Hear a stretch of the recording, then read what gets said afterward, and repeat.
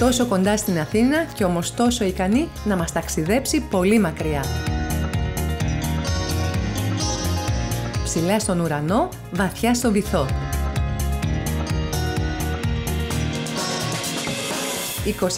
24 ώρες στην Τζιά, 24 ώρες στην Ελλάδα.